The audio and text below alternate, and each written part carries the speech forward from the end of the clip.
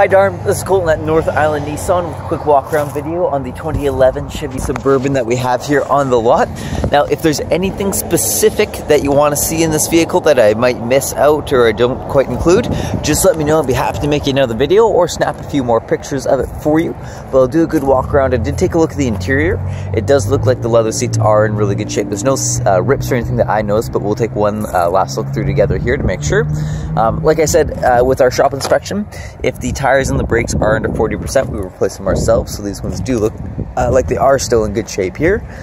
We'll take a quick look on the passenger side.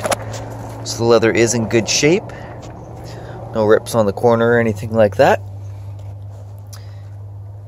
This is a nice and clean vehicle, and it uh, comes with a lot of features as well, being the LT trim level there. Go to the back seats. Again, no rips or tears that I noticed there. You do get some temperature controls for the back seats as well as heated seats back here as well, which is nice to have for any passengers that you might have sitting back there. Uh, the one crack in the paint that I mentioned uh, when we were talking over the phone is actually right here.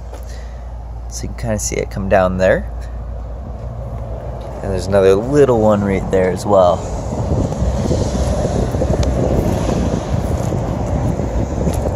Does have the tow hitch on it as well as backup sensors. Being a 2011, there's no actual backup camera in it though. They kind of started doing that uh, more common in 2012. We do have the rear seats folded down there. Uh, they did have a little mat back here, which is nice to have because it is carpet underneath that. You do get cup holders for that third row. And then even with that third row folded up, you still get a ton of storage space back here, which is really nice.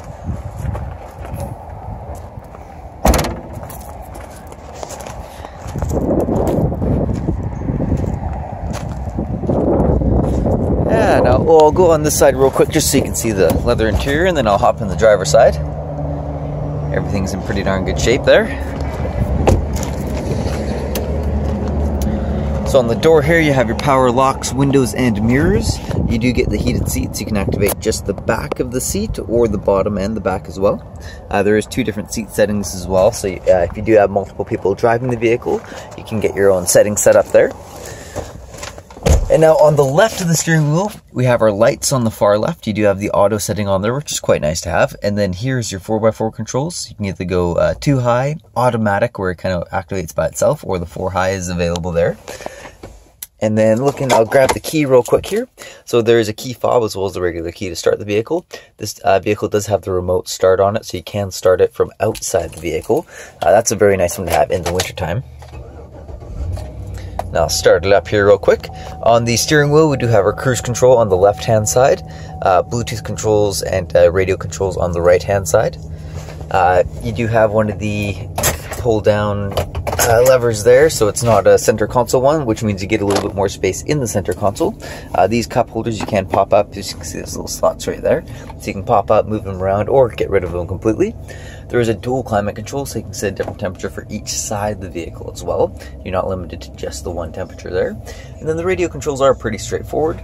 I got a bunch of different presets here. You can kind of see the radio stations there that are preset to it. Uh, tuning knob is on the right hand side here, and then your volume is just in the center. So yeah, it's a really nice vehicle overall. It does have a sunroof. There are roof racks up there as well. A large center console. And uh, overall, it's all in uh, pretty darn good shape. So I have sent you the CarProof from the shop inspection. If you have any questions on that stuff, just let me know. I'll be happy to, if I don't know the answer, I'll be happy to find it for you. Uh, and I might know the answer off the top of my head as well. And if there's anything specific on this vehicle that you do want to see, again, just let me know. I'll be happy to make you another video or snap a few pictures for you. But I hope you enjoyed this one and have a great rest of your day. Goodbye.